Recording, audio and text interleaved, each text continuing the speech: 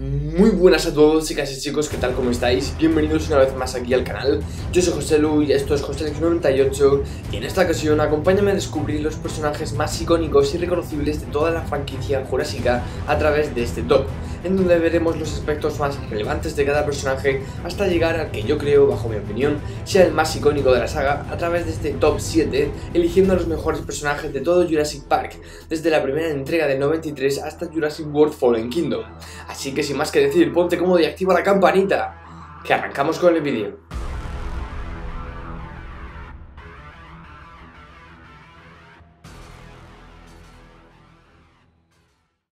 Empezamos este top por el número 7 y uno de nuestros personajes favoritos de todo Jurassic Park 3, exacto Eric Kirby. ¿Qué decir de este chaval que ya no haya dicho en vídeos anteriores? Este personaje crea un gran contrapunto a la figura del mando de lo que son sus padres y nos ofrecen a un personaje bastante creíble al extremo de la situación y llegas a empatizar con él tras conseguir sobrevivir en el lugar más peligroso del mundo sin ayuda de nadie.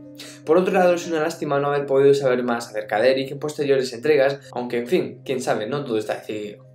El carácter y temperamento de este chico se convierte en uno de los pilares más notables de la ya más que polémica y controvertida Jurassic Park 3, y a mi modo personal se llega a convertir en el personaje que más intriga te deja y transmite, superando al más que mítico Alan Grant, que por cierto en esta entrega sin duda no pasa por su mejor momento. ¿Dónde conoció a los Kirby? En la iglesia. En el puesto número 6 tenemos a la joven científica Sarah Harding, especializada en el comportamiento animal que hace su debut en la segunda entrega de Jurassic Park, El Mundo Perdido, y con quien tiene una relación sentimental con el matemático Ian Malcolm. En esta entrega la doctora Sarah Harding muestra gran iniciativa ante la situación y gracias a la interpretación de Julian Moore logra adaptar a un personaje realmente bueno y creíble con quien empatizas a la vez que notas una clara y diferenciada personalidad con Ian Malcolm, al que por cierto en esta entrega lo vemos claramente cambiado con respecto a la primera entrega y este factor en particular creo que hace ganar en valor a Sarah y en cuanto a mi opinión personal, la actuación de este personaje a lo largo de la película me pareció realmente bueno desde que la vi de niño por primera vez, convirtiéndose en uno de mis personajes favoritos de esta entrega en particular. Siguiendo con el puesto número 5 tenemos al loco y soñador John Hammond, que como no, no podía faltar en este top, ya que como vimos, ya no solo en las dos primeras entregas jurásicas, sino también en las entregas posteriores hasta Fallen Kingdom, Hammond se hace un personaje muy relevante si queremos llegar a entender el verdadero sentido y valor del parque temático y de la necesidad propia de jugar a ser Dios. En la novela nos encontramos con un personaje malvado y en la película vemos todo lo contrario, y las innumerables escenas que nos deja en cada aparición que hace son icónicas de la trilogía original, y su legado sigue latente. Sin ir más lejos, en la misma en Lockwood cuando vemos un retrato suyo en la mansión o cuando descubrimos que este tuvo un socio y supimos algo más de su pasado.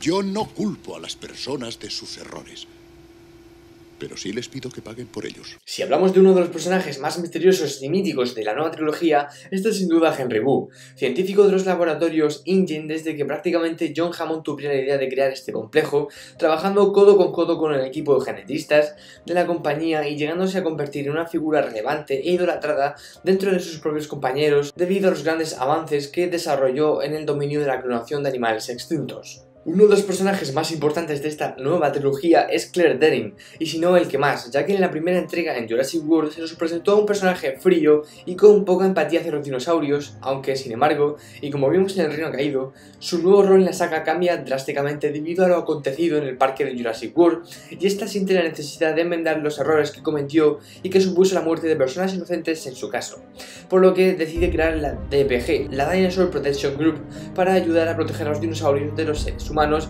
y que así tengan y que así estos tengan los mismos derechos y libertades que el resto de animales para vivir en paz.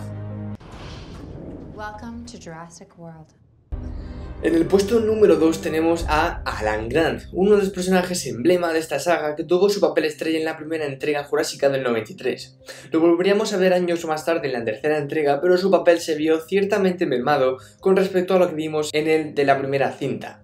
Cabe destacar de este personaje grandes momentos como la visión del T-Rex y la primera escena del Brachiosaurus, y junto con la doctora Sadler hacían un buen dueto bastante bien integrado y conciliador con el espectador que para nada se veía algo forzado. ¡Tim! ¡Tim! ¡No te muevas! No nos verás si no nos movemos.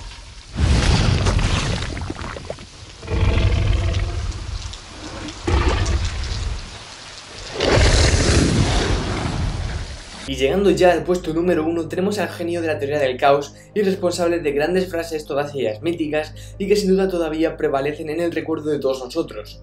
Ian Malcolm se nos presenta en la primera entrega como un profesor que cuestiona todo lo que le rodea para filosofar acerca de la capacidad del hombre por cambiar el rumbo de los acontecimientos. Ian Malcolm puede ser perfectamente la conciencia del espectador de esta saga que sin lugar a dudas muestra un gran contrapunto a toda esta maquinaria de InGen por querer explotar a los animales supuestamente Es cierto que en la segunda entrega nos encontramos con un personaje algo más serio, pero esto podría justificarse a la vivencia en el primer suceso de Jurassic Park y a cómo esto le afectó. Aparte, eso sí, de que su participación la considero algo mejor de la que fue eh, la participación de Alan Grant en Jurassic Park 3. Pero, insisto, ¿cómo saben que son todos hembras? ¿Sale alguien al parque y levanta las faldas a los dinosaurios?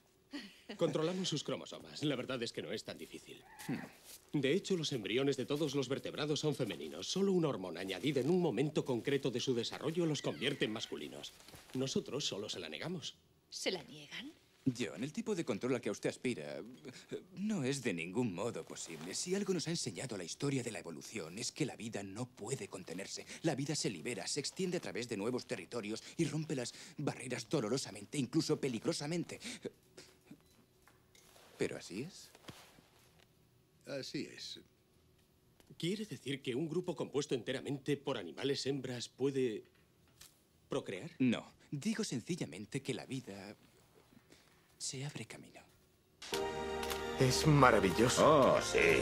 Uh, ah, esto es al principio. Pero luego vienen las carreras y también los gritos. Llegados a este punto del vídeo, déjame abajo en comentarios tu top con tus personajes favoritos de la saga y sin más que decir, espero que este mismo vídeo te haya gustado. Compártelo si fue así, suscríbete al canal si eres nuevo por aquí, sígueme por Twitter e Instagram. Yo soy José Lu, esto es JoséLex98. Comenta, comparte, disfruta.